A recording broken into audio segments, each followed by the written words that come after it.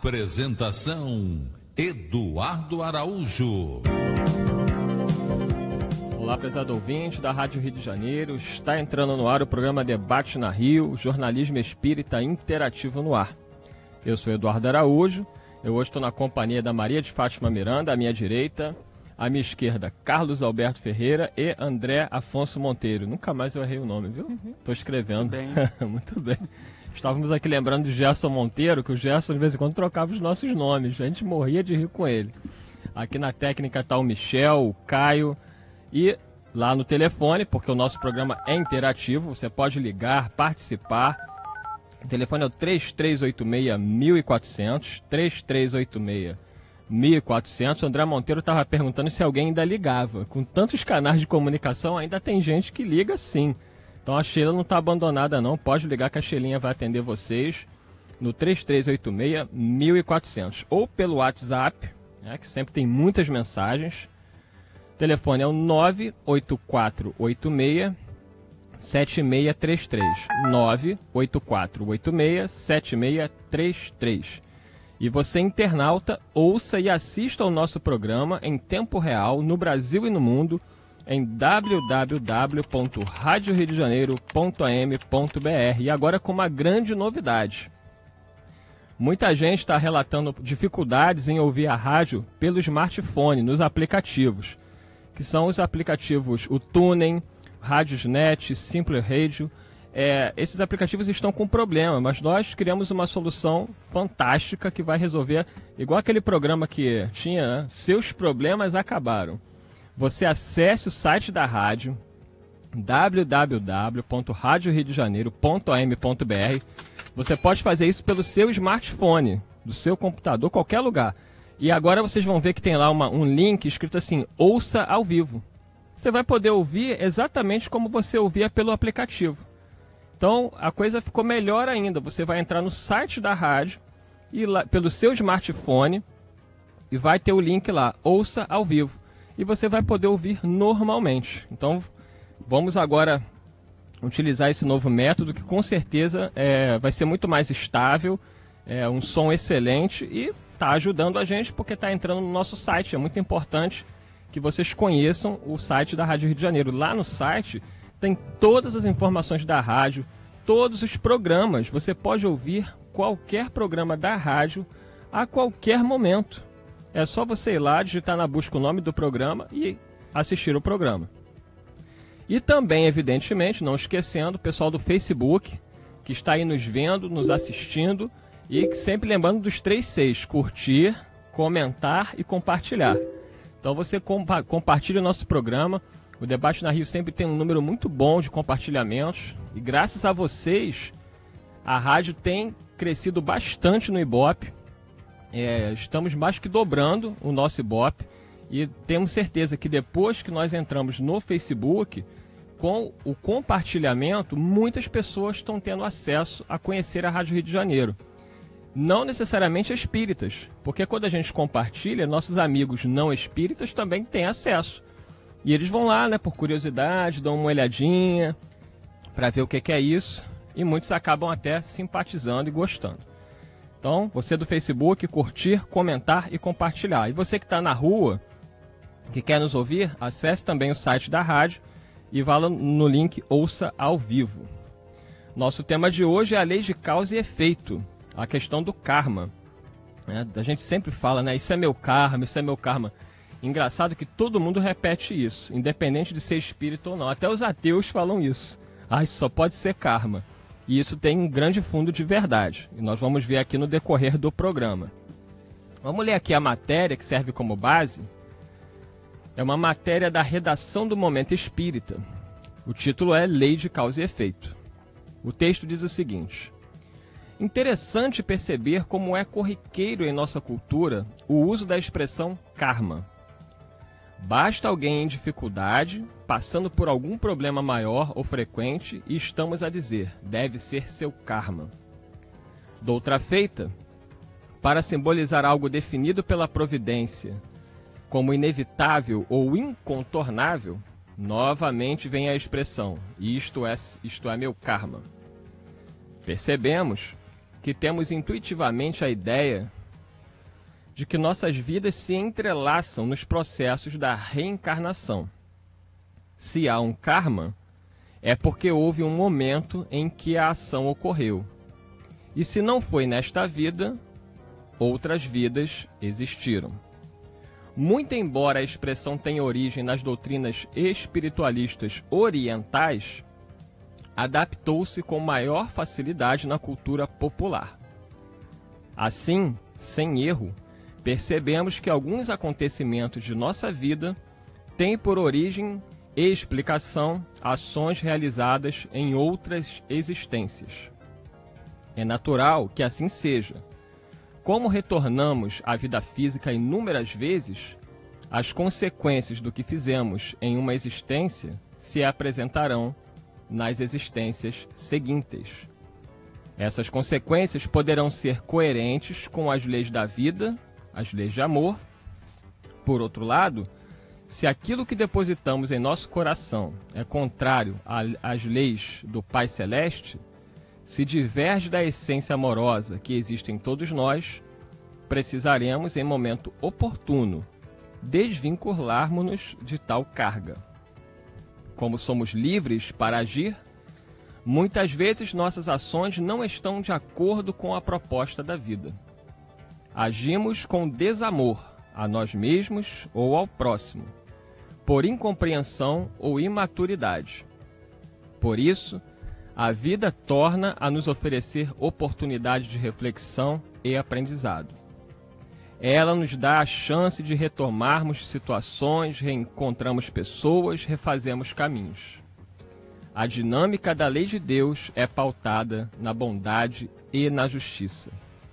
Assim, a todo momento, entendendo o erro praticado, arrependemo-nos do desacerto cometido.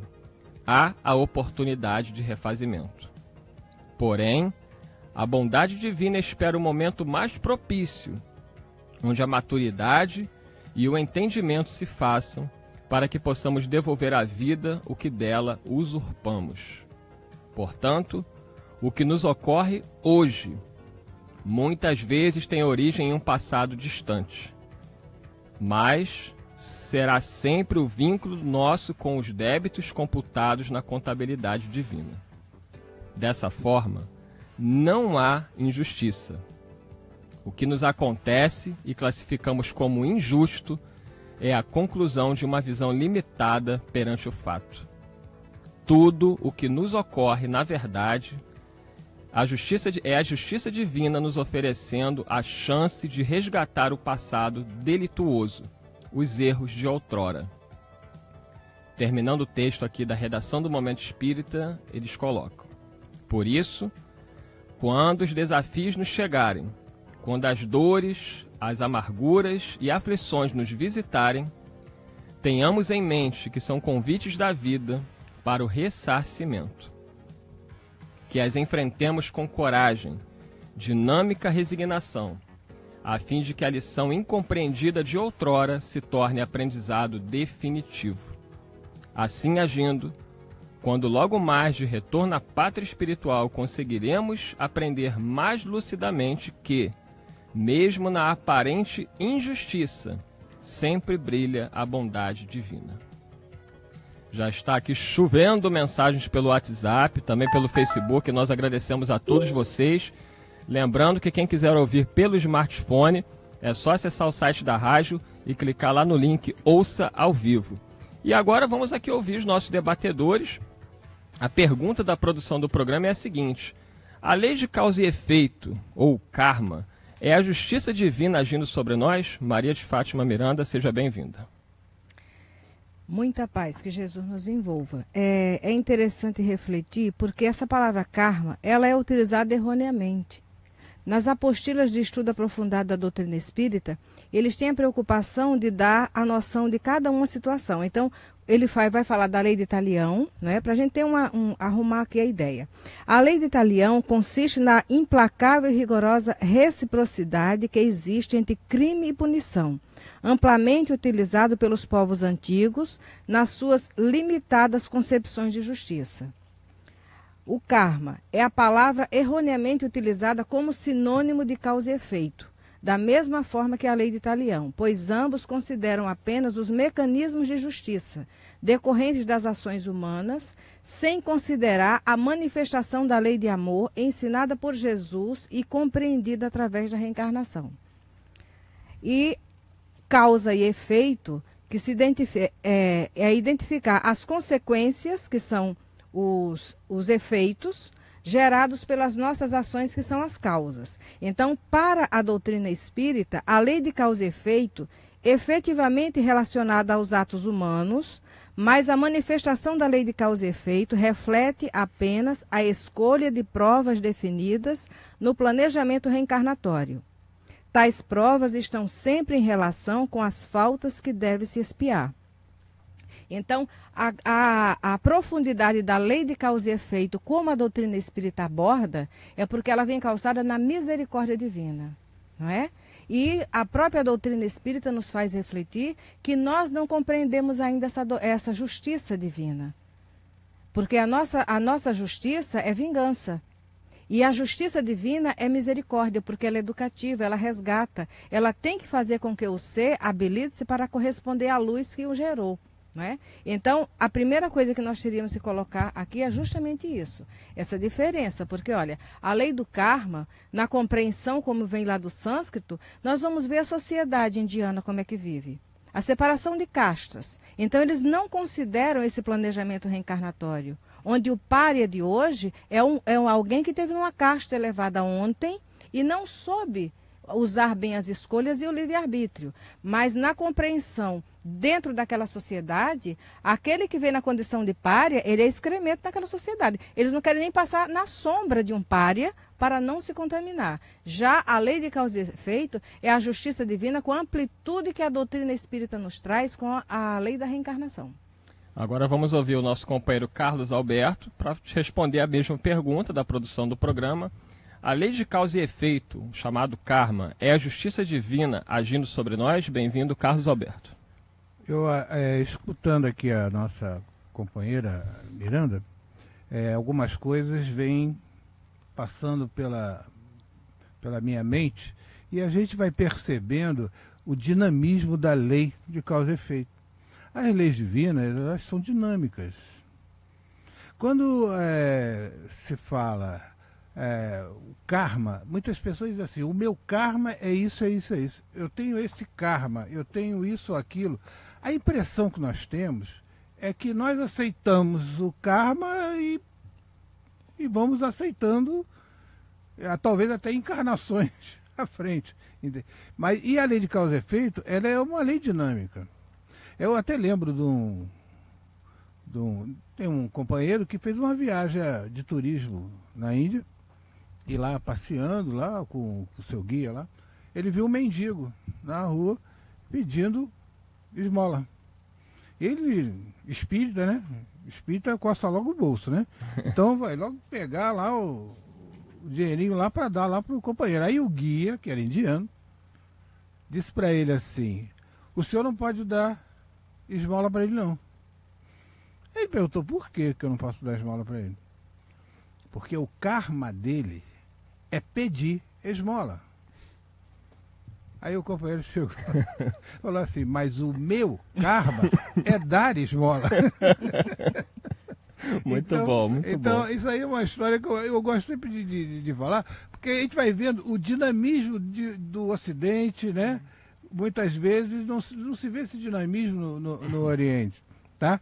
Então que a gente perceba que a lei divina, nosso querido Pedro, apóstolo Pedro, ele disse que o amor cobrirá a multidão de pecados. E, e a nossa querida lei de causa e efeito, muitas vezes, quando nós voltamos, retornamos à vida, no nosso aprendizado, para aprendermos a fazer o certo, Muitas vezes, quando nós nos dedicamos com amor, quando nós mudamos o nosso foco e começamos a amadurecer, quantas vezes nós vamos também atenuando muito desses problemas que trazemos do nosso passado, né? através do trabalho do bem. Os espíritos falam para gente, lá no Livro dos Espíritos, 860, 860 do Livro dos Espíritos. Lá na resposta Está lá. É, o bem consiste no único objetivo da vida. Isso mesmo. E a lei de Deus vai levar isso em consideração. Tá? Então, é, é, essa é, é a diferença. A, a impressão do karma que nos dá é uma ação e reação, mas que fica paralisado, muitas vezes. Não há aquela dinâmica em que nós poderemos desenvolver através do amor, através é, da, da, caridade, podemos desenvolver muitas vezes, é, vamos dizer assim, é, cobriremos né, muitas vezes aquela multidão de pecados nossos que vamos trazendo de outras vidas e resolvendo nessa vida. Vamos ouvir agora o nosso companheiro André Afonso Monteiro, também respondendo a pergunta da produção do programa. A lei de causa e efeito, o karma, é a justiça divina agindo sobre nós? Eu acho que a sua esposa fala isso, né? Que ela tem que carregar você, que é um karma. Então tu deve entender bem disso. E aí, André Monteiro? Eu sou um instrumento de progresso. Ana Paula dela. deve estar ouvindo a gente. Ela, vamos ver se ela vai te defender. Vamos lá. Karma, karma, karma. Miranda, Eduardo, Carlos Alberto, queridos ouvintes. É, essa questão da lei de causa e efeito, ela me remete a fatalidade, determinismo e livre-arbítrio como a gente aprende em O Livro dos Espíritos e, e nos demais livros da codificação. Então, lá na questão 258, os espíritos vão responder a Allan Kardec que o espírito, via de regra, escolhe antes de reencarnar o seu gênero de provas. E lá na questão 851, os espíritos vão dizer, quando Kardec pergunta se existe fatalidade, os espíritos vão responder a Allan Kardec que a partir do momento que a fatalidade ela consiste no seguinte: em relação às, às provas físicas. Né? Se você escolhe um gênero de prova, por exemplo, eu escolhi um gênero de morte violenta, você vai ter um gênero de morte violenta. Agora não se sabe como, se vai ser atropelado, se vai ser o que, que vai acontecer.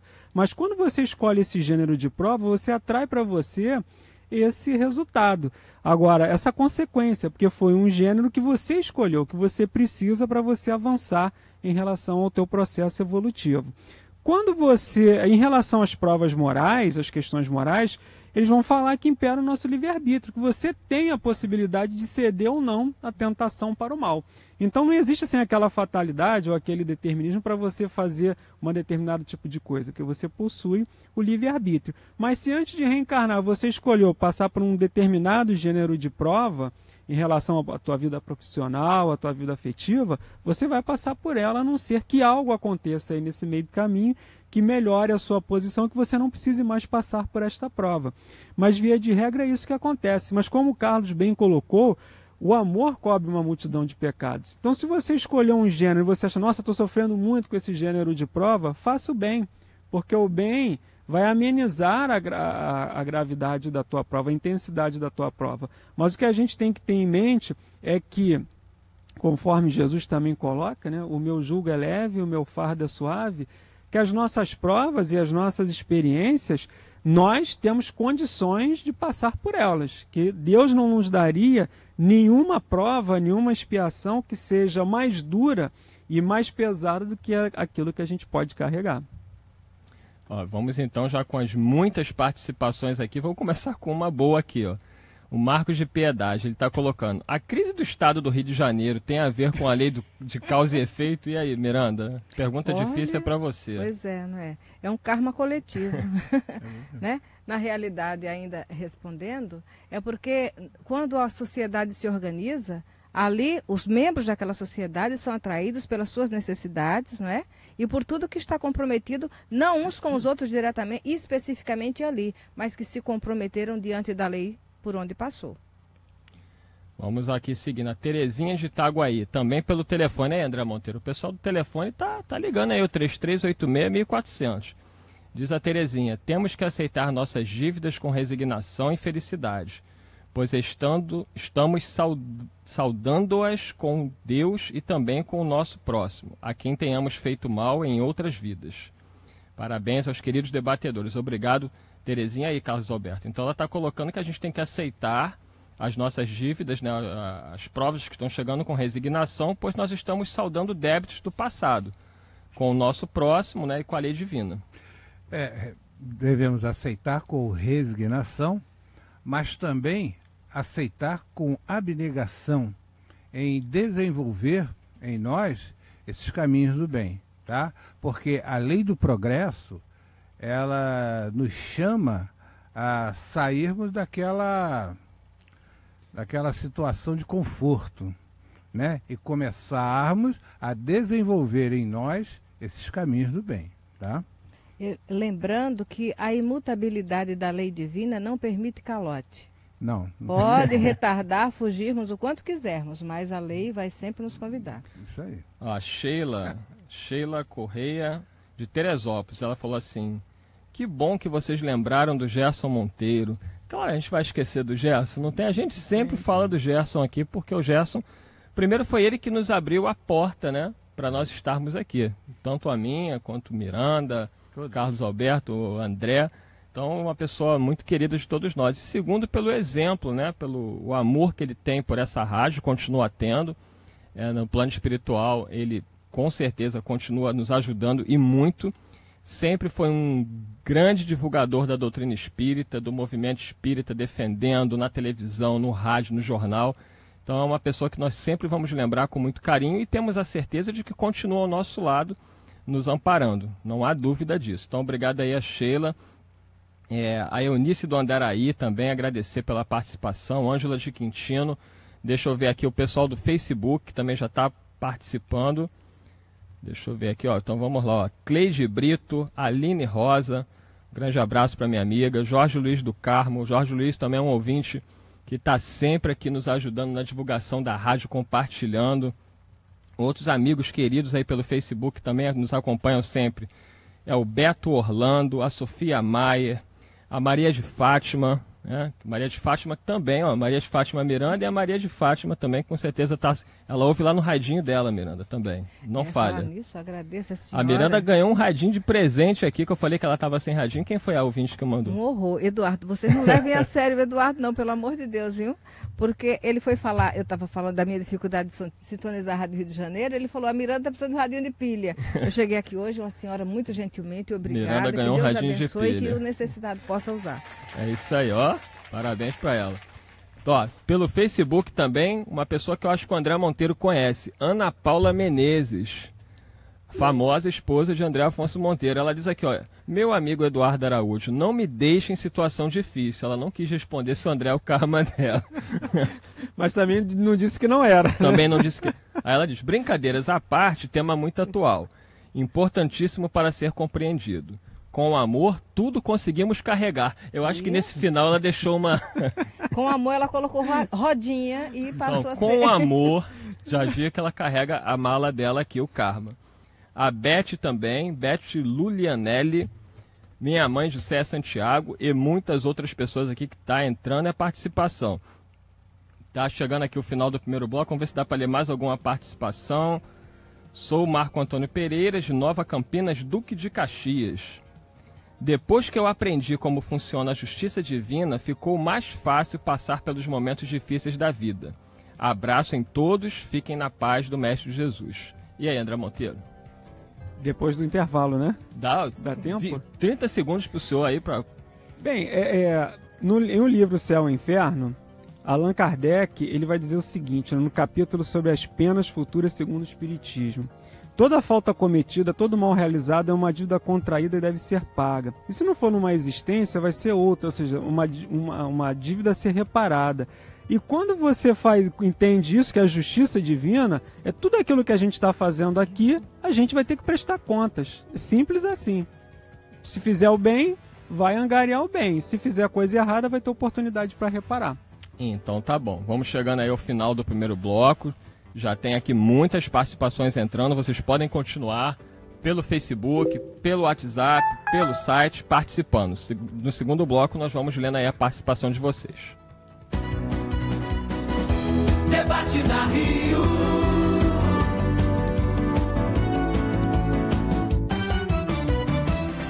Este programa é um oferecimento dos mantenedores do Clube da Fraternidade.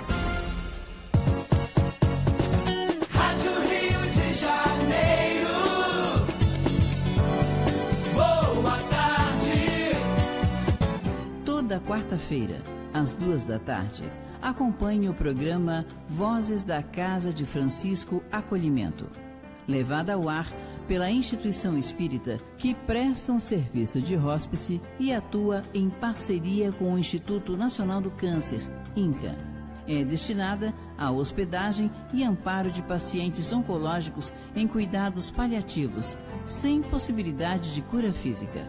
A apresentação de Eduardo Sutini. Bem, amigos, aqui é Célio Berron. Estou organizando um passeio para São Lourenço no próximo mês de agosto, nos dias 11, 12 e 13. Iremos participar da tradicional festa agostina junina, dentre outras atrações que aquela cidade nos oferece. Não perca este passeio maravilhoso. Ficaremos hospedados no Alzira Park Hotel. Reserve sua viagem conosco. Ligue já para 2481-5751, tratar com Geni. Não perca este belo passeio. Novo ensino médio. Quem conhece, aprova. Eu quero fazer jornalismo. Eu quero ser professora, é o que eu amo. Eu quero um curso técnico para já poder trabalhar. Agora, com o novo ensino médio, você tem mais liberdade para escolher o seu futuro, de acordo com a sua vocação. Quem conhece o novo ensino médio, aprova. Já é assim com 72% dos brasileiros, segundo pesquisa do Ibope. Acesse mec.gov.br e saiba mais. Ministério da Educação, Governo Federal, Ordem e Progresso. O Grupo Espírita Teatral Arte com Jesus apresenta E Foi Assim que Aconteceu, peça teatral que nos leva à reflexão para os verdadeiros valores da vida. Verônica, viúva com uma filha, precisa lutar contra as adversidades que até então não conhecia. Este drama envolve sentimentos diversificados com um final surpreendente. A apresentação dia 22 de julho, sábado, às 19 horas, Congregação Espírita Francisco de Paula, Rua Conselheiro Zenha 31 Tijuca. Ingressos à venda no local. Informações 22840395. E foi assim que aconteceu. Você pode ser vencedor de si mesmo e do mundo. Nunca desista de viver. Campanha pela vida contra o suicídio. Compromisso da Rádio Rio de Janeiro, a emissora da fraternidade com você. Se você é participante do Clube da Fraternidade da Rádio Rio de Janeiro e não receber o boleto bancário até o dia 10 de cada mês para realizar a sua contribuição mensal, entre em contato conosco para que possamos enviar uma segunda via do boleto. Para isso, ligue 0 Operadora 21 33861422 ou envie mensagem para o e-mail clube da fraternidade arroba rádio Rio de Janeiro ponto am ponto br. Lembre-se, não recebendo o boleto bancário, entre em contato para emitirmos a segunda via do boleto e continuarmos juntos na, na família, família Rádio Rio de Janeiro.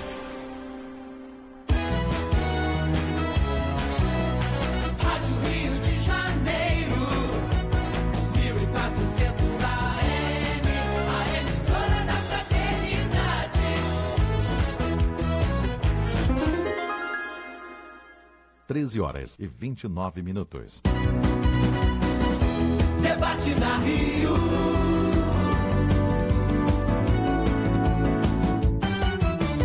Apresentação: Eduardo Araújo. Prezado ouvinte, estamos de volta com o programa Debate na Rio, jornalismo espírita interativo no ar. Eu estou na companhia da Maria de Fátima Miranda, Carlos Alberto Ferreira e André Afonso Monteiro. Na técnica está o Michel e o Caio ali operando as câmeras do Facebook. E lá no telefone para atender vocês no 3386-1400 está a Sheilinha. 3386-1400. Pelo WhatsApp você também pode participar 984867633 984867633. E você internauta ouça e assista o nosso programa em tempo real no Brasil e no mundo em www.radioriodejaneiro.am.br.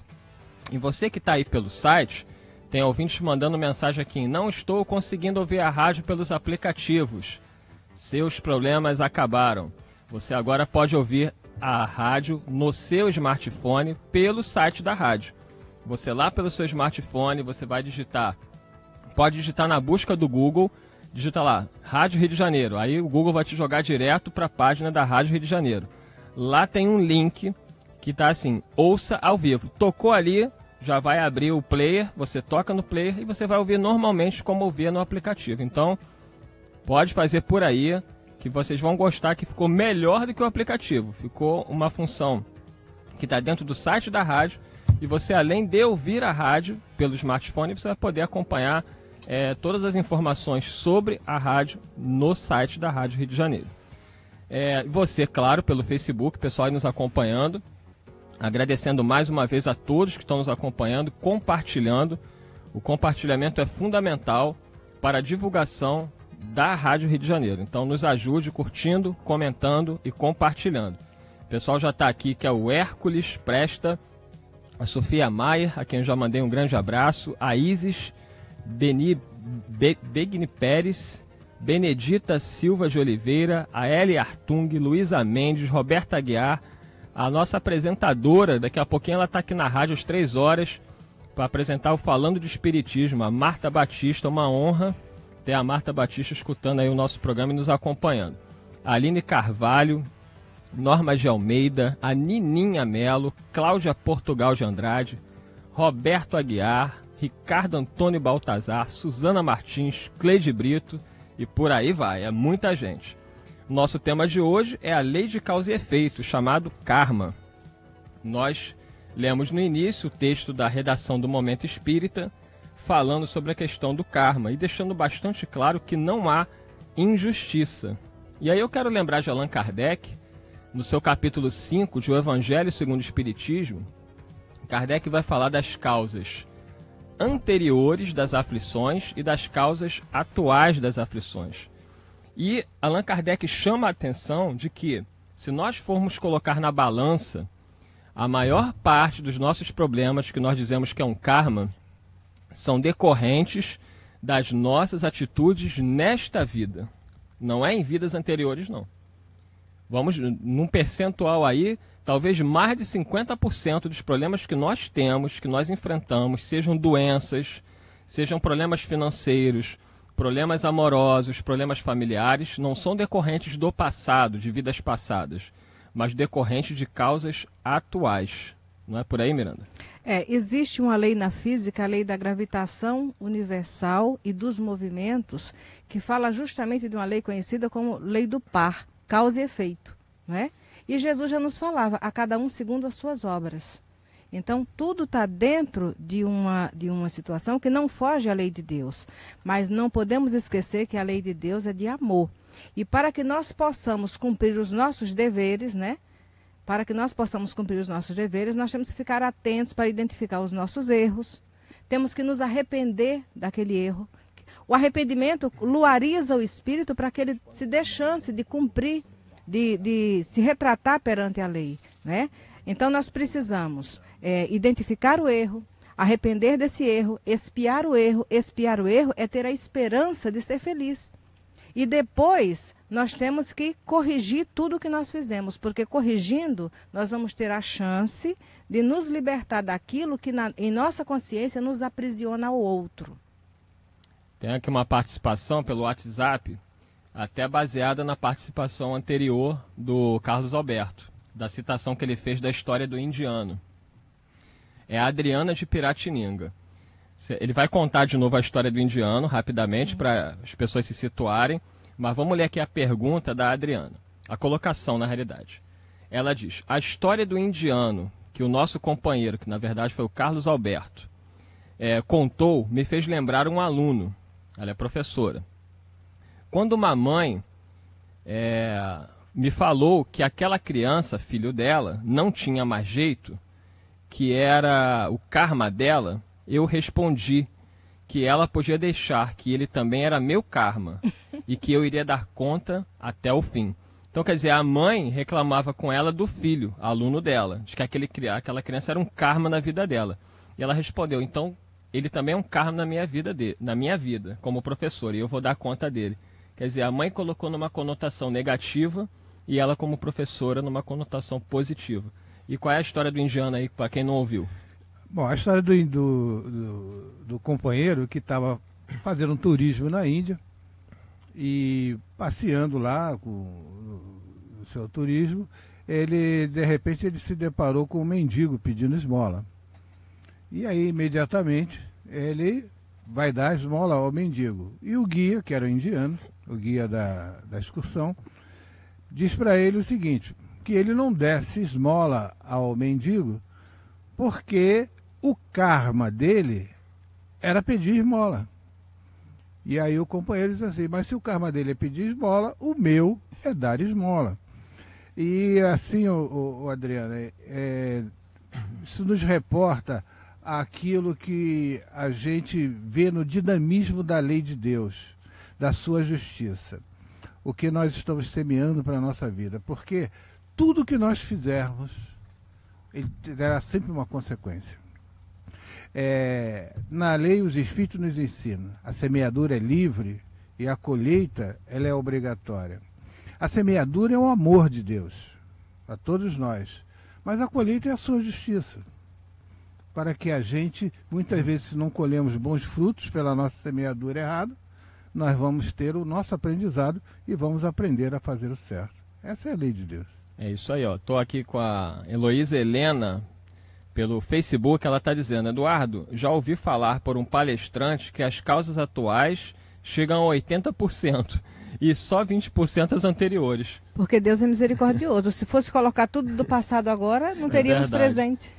É, mas assim, realmente a, a maior parte dos problemas que nós temos somos nós mesmos que criamos hoje Verdade. e não ontem. E a Miranda bem lembrou que as nossas dívidas são tão grandes que se Jesus fosse nos cobrar ela nessa encarnação seria complicado. Memórias do suicida. Quando o Camilo está se preparando para reencarnar, ele não, vai, ele não vai responder de imediato ainda pelo suicídio. Ele ainda vai pegar lá atrás uma situação, né? Então, porque nós temos um passado muito grande.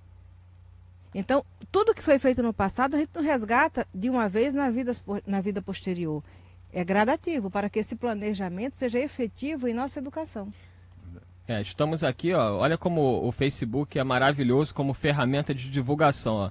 Estamos com a Dilene Campos, ela está falando do Mato Grosso do Sul, em Dourados, ouvindo a gente, né? Tema fundamental para aprendermos a utilizar as nossas limitações. Viemos reparar. Então, nós só temos a agradecer a você do Facebook por nos ajudar e fazer com que pessoas como a Dilene possam eh, saber da nossa rádio. E aí nós pedimos a Dilene também que possa compartilhar com o pessoal do Mato Grosso, com as instituições espíritas do Mato Grosso do Sul, enfim, que toda essa região centro-oeste, queremos chegar no Brasil todo. A rádio é Rádio Rio de Janeiro, mas a intenção é chegar no Brasil e no mundo. Estamos aqui também agora com a participação da. Deixa eu ver aqui quem é ela. É a Antônia Regina de Madureira. André Monteiro, pergunta mole mole que ela faz aqui, ó. Aturar um membro da família que só lhe traz problemas com a bebida, com as drogas, e você já fez de tudo, tudo mesmo, e que ainda continua a fazer. É karma? É prova? O que, que é? E aí, André Monteiro? ela Bem, não aguenta mais. Aí é só ela conversando com o mentor espiritual dela, né, para saber disso. Mas o que a gente pode entender é que a família, o Emmanuel coloca isso, eu, já tinha lido isso várias vezes, mas só de isso que eu fui prestar atenção nisso. O Emmanuel vai dizer que os laços familiares são que a família é a melhor escola para você conseguir progredir do ponto de vista espiritual. A grande escola é a família, é, o- é é a melhor é, oportunidade, instrumento que nós temos para a gente conseguir evoluir quando a gente desenvolve o amor e a compreensão pelo companheiro difícil. A gente podia imaginar tudo, né? Que era ser médium, que era ser fazer psicografia, enfim, a gente pensa logo nessas, é, nesses movimentos de vulto. Mas ele vai dizer isso. E quando a gente se recorda de Jesus, que ele vai dizer, né, honrar seu pai, sua mãe, ele fala para o fariseu, antes de você praticar a lei, vai honrar seu pai e sua mãe. É mais ou menos isso que ele está querendo informar para a gente. Porque é, a gente não sabe qual o compromisso que. Qual o nome dela? E agora tu já me pegou, hein? Deixa eu voltar aqui para ver. Regina? É a Antônia Regina de Madureira. Antônia Regina, a gente não sabe qual o compromisso que ela assumiu antes de reencarnar com esse espírito. Até que ponto o envolvimento que ela tem de outras vidas com esse espírito para agora ter essa missão de poder ajudá-lo. Agora o Emmanuel também ele fala uma coisa muito importante no livro Calma. Se você fez de tudo para ajudar. O nome do livro já é bom, né? Calma. é. A psicografia do Chico Xavier. E ele vai dizer o seguinte: ó, se você fez de tudo para ajudar o parente, mas ele não lhe, lhe atende aos apelos, deixa ele. Deixa ele em que sentido? É, deixa ele na, na, na, posição dele, porque ele não atingiu a maturidade ainda. Não é deixá-lo de abandonar, né? É deixar respeitar o momento dele, porque uma hora ele vai atender os seus apelos. Pode ser que não seja nessa vida, mas pode ser numa outra. Mas enfim, ela ter a paciência, porque ela, se fizer a parte dela, ela vai estar tá cumprindo com o que ela se comprometeu. E ele vai responder pelo, pela parte que ele não está cumprindo nessa programação. Né? Nisso que o André falou é importante, porque quando ela atende essa paciência, ela já está reparando. Não queiramos saber se a expiação Sim. é prova. As Ela tá situações parte difíceis que façamos a nossa reparação com a lei. Agradecer aqui a E- Eunice do Andaraí, obrigado, ela está parabenizando o programa. A Ângela de Quintino, olha o que a Ângela escreveu. Meu karma é ter pais ótimos, bons irmãos e amigos sensacionais. Olha, Ângela, parabéns, hein? A Ângela tá pra cima mesmo. Muito a boca bom. fala do que está cheio o coração, hein? Muito bom. É, mais uma participação aqui, a Vila de Vil, Vila- Vil- Vilma de Vila Valqueire. Ela diz: Tenho graça, dou graças a Deus, né? Uma, tenho graças a Deus uma vida boa, mesmo com pequenos problemas. Tento sempre fazer o bem, mas será que algum karma ainda tem por vir? Oro sempre e peço força. A gente fica com aquele medo, né? Porque a gente tem muita dívida. E eu assim, ai meu Deus do céu, será que vai vir um karma aí pra mim? E aí, Miranda? Eu quero ouvir o, o- eu quero ouvir o Carlos agora um pouquinho. Ah, é? Mas o É. ca- deixa que a do Carlos tá guardada aqui. Ah, Vai aí, pode ir. não. O, Carlos- Olha, o que é dele tá guardado. Dentro do que a doutrina espírita nos traz, é importante que o ouvinte saiba também onde ele encontrar determinado subsídio, né? Então, no livro Céu e Inferno, nas penas futuras, Kardec coloca 33 pontos que são justamente o código o Código Penal da Vida Futura. Aqui, em cada um desses pontos, ele nos ajuda a nos enquadrar. Eu estou incluída em todos. Entendeu? E nós vamos refletindo a nossa necessidade de não se desesperar diante do testemunho, diante da dor. A vida no dia a dia é uma, é um, cada situação é uma lição, entendeu? Se nós temos dificuldade, seja no trabalho, seja no grupo que nós compomos fora da casa, dentro da casa espírita ou fora, que nós tenhamos sempre a certeza que não viemos aqui para apontar o outro, para reclamar do outro, mas em cada situação que o outro nos traz, nós temos a oportunidade de crescer com ele. Agradecer aqui ao Luiz Carlos Nascimento, de Nova Iguaçu.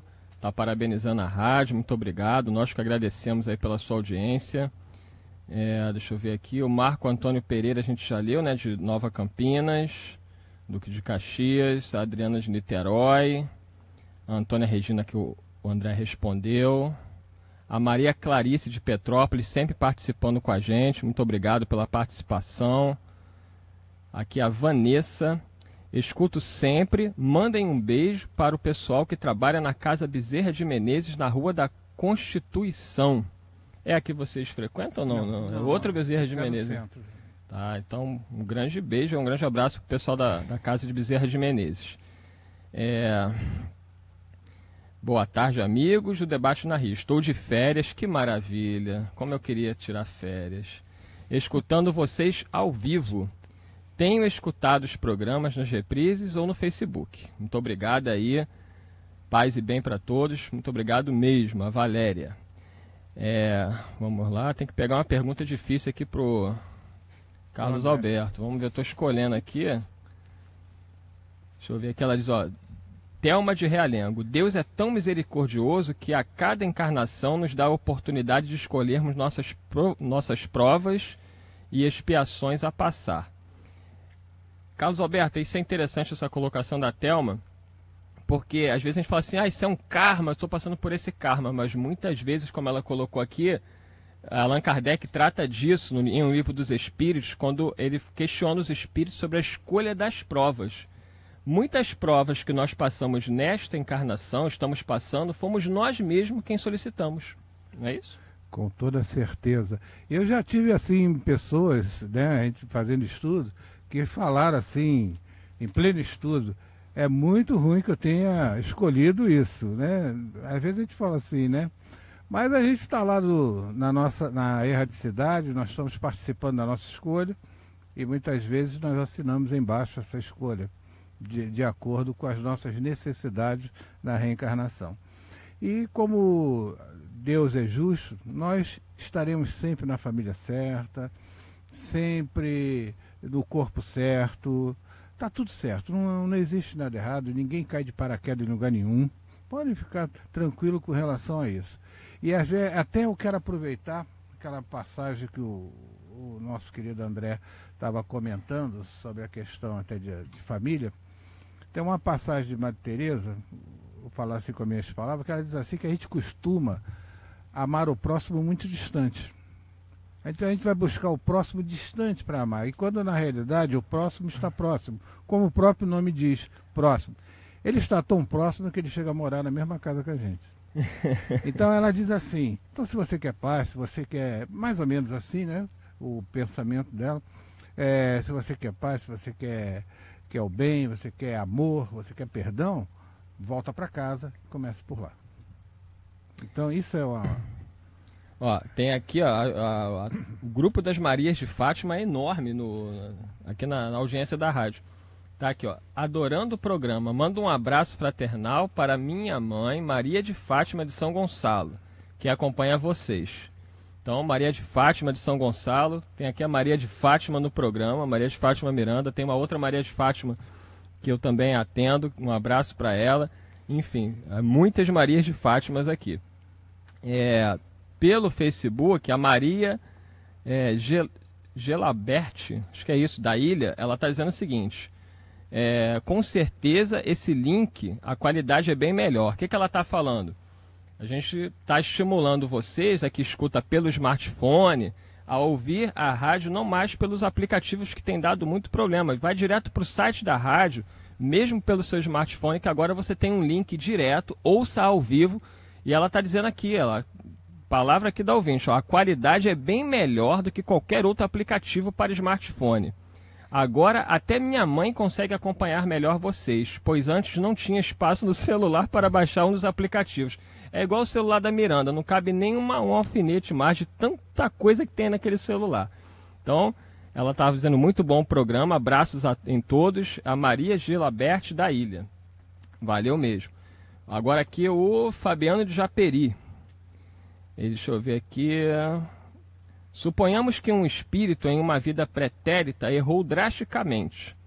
Por isso, tendo que saldar a dívida em, em futura reencarnação. Esse espírito, na erraticidade, na- no plano espiritual e na vida terrestre, pôs em prática a reforma íntima. A lei de caridade, a sua expiação poderá ser amenizada? Obrigado e abraço a todos. Fantástica colocação aqui do Fabiano de Japeri. E aí, André Monteiro? É, no livro A Vida Escreve, que é uma psicografia do Chico Xavier e do Valdo Vieira, é uma mensagem, é o espírito que dita essa mensagem ao Hilário Silva, ele vai narrar a história de Saturnino Pereira, que é o caso de um de um de uma pessoa que ele era muito dedicado à caridade, ele era um trabalhador de um centro espírita, e em determinado momento ele perde o dedo preso na, na prensa lá no trabalho dele. E aí eh, acontece aquele burburinho no centro, né? Ele mesmo fica muito triste, porque eh, como é que pode, né? As pessoas se perguntam, um homem tão bom, eh, bom pai de família, ele é um exemplo em todos os segmentos, na família, no centro espírita e no trabalho. E ele perde o dedo. Todo mundo se pergunta o porquê. E quando ele vai para a reunião mediúnica, o mentor da casa da comunicação explicando que ele, num- num- há muito tempo em uma outra vida, ele tinha eh, esmagado o braço de um escravo. E aquilo ficou por séculos e séculos na mente dele. Então ele, antes de reencarnar, ainda muito perturbado com aquela cena do, do, do que ele fez numa outra existência, ele pede para perder o braço. Só que ele trabalhou tanto, e aí o espírito explicou, não é para você se enaltecer com isso, nem para né, elogio, mas você trabalhou tanto no bem que ao invés de você perder um braço, você perdeu o braço inteiro, você perdeu só um dedo. Então, antes de você é, ficar desolado e triste, fique alegre, porque era para você perder o braço inteiro. Então, aquilo serviu como um regozijo para ele, né? porque era para ele perder o braço, mas trabalhou tanto no bem que ele perdeu um dedo só. Repete o nome do livro. É o livro A Vida Escreve, psicografia do Chico e do Valdo Vieira, ditado pelo Hilário Gouveia. Agradecer mais uma vez aqui o pessoal do telefone, Marcos de Piedade, Terezinha de Itaguaí. Desculpa, desculpa. Hilário Silva. Hilário Silva. Hilário Gess- Gouveia Rua. Gesselano de Nilópolis. É, a Neide de Jacarepaguá, a Neide coloca aqui, eu e meu marido não nos damos bem, nosso relacionamento é complicado. Já tentei de vários meios ser amiga, mas não dá. Gostaria de saber se eu, me afastando da sua convivência, eu estarei fugindo do cumprimento do meu planejamento espiritual com ele. Maria de Fátima Miranda. Certa vez, conversando com Raul Teixeira, alguém fez uma pergunta e colocou assim: Eu e meu marido, nós não nos damos bem, somos incompatíveis. Ele falou: Não, é compatibilidade. Vocês são tão semelhantes que não se dão bem. Os dois, não, não, um não contribui igualmente para uma aproximação. Mas, refletindo, é, a ninguém estamos ligados por acaso, não é? E aquele companheiro que nos recebe, ele também tem queixas a fazer a, nossa, a, a nosso respeito. Então, vale a pena refletir, ponderar todas as situações e saber que, de alguma forma, você está aprendendo com ele. Independente das situações difíceis, se você for refletir, do momento em que você. Olha, ninguém está atraído por acaso. Então, não, não, a história não começou assim. Toda a história começa com uma outra situação. E nós, por invigilância, vamos, deix- vamos embarcando na, na necessidade de ter a nossa vontade aceita e vamos esquecendo que o outro também tem uma vontade. É, rapidamente a gente tinha falado aqui, a Maria Clarice está falando sobre karma e dharma. Sim. Rapidamente para ela, Miranda. É, até Maria eu, Clara, desculpa. Até onde eu pude ouvir, né, de pessoas que estudam sobre karma e dharma, que o dharma tem relação com os deveres que nós temos que desempenhar. O karma já seria aquela, aquela coisa ligada à expiação, às consequências das ações e do dever não cumprido. Então, o karma já é a consequência do dever não cumprido. Agradecer ao Augusto de Irajá, que está sempre com a gente também. Ele fala que esta doutrina, depois que eu me identifiquei com ela, eu às vezes a considero meu karma, pois tudo de errado que eu faço não tem a quem culpar, porque nós não acreditamos em demônios. Que coisa chata, né? É isso mesmo, não tem como é, culpar a ninguém, né? nós temos que assumir as nossas responsabilidades. Maria Beatriz Jolaria, agradecemos muito aqui a participação. São muitas participações, então é difícil a gente até ler todas, mas a Verônica de Jacarepaguá também agradecer, Leda de Bangu, a Sueli, enfim, não para de entrar participações aqui, a Marise Pereira da Silva pelo Facebook. Ela diz que o programa é muito esclarecedor, né? Muito obrigada. A Rose Martins, o Jorge Luiz está me falando aqui, Eduardo, não se esqueça do tema de quinta-feira, ok? Ok, meu amigo. Ele já até sabe que eu sou esquecido. Ó, quinta-feira com Cristiano Moreira aí nas férias do Paulo Guedes. O tema é Filhos Problemas. Pelo menos é o que estava aqui na minha agenda. Se não for depois, o Cristiano vai corrigir aí. É, Fátima Borges, um grande abraço. Jussara Vieira, Vanessa Moraes. Enfim, todos vocês que estão nos acompanhando. Um, min- 30 segundos para cada um aí, André Monteiro. É assim, a gente fica muito preso a esse termo karma, mas o karma é, é um, esse, conforme a Miranda já colocou, que não é um termo que a gente aplica no, no espiritismo, né? Que a gente fala muito da lei de reparação, é, é, arrependimento, reparação expiação, que é a, a trilogia, digamos assim, que a gente coloca, né? Porque o karma está ligado como a Miranda colocou. Ele já tem assim, se você faz alguma coisa, é automático, é ação e reação. É mais ou menos isso, né? Você fez alguma coisa, você vai ter um, um- um reflexo sobre isso. Carlos Alberto. E eu fico com uma frase bem, bem interessante aqui da, do nosso, da nossa redação, que diz assim: Por isso a vida torna a nos oferecer oportunidade de reflexão e aprendizado. Maria de Fátima Miranda. Quem estiver indagando de si o que é uma consequência de uma, da própria existência, reflita a parábola do filho pródigo, É isso aí. tá? Porque aí vai ser a consequência das escolhas que ele fez naquela encarnação. Ó, daqui a pouquinho tô vendo aqui a Marta Batista que está nos acompanhando, programa falando do espiritismo, fazendo aí uma propaganda. Três horas falando de espiritismo com a Marta Batista. Um grande abraço, muito obrigado a todos vocês que nos acompanharam em mais um debate na Rio. Até quinta. Debate na Rio.